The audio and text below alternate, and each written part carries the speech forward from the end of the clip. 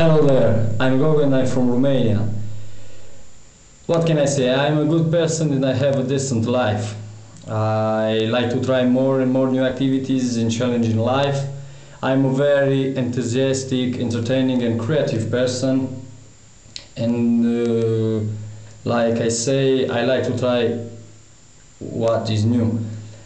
In this video it's impossible to know and uh, realize what kind of person I am, but I tell you if you choose me, you'll see that I'm the best person for this best job in the world. About swimming, I tell you that I was in 1994-1995 national champion here in my country, Romania.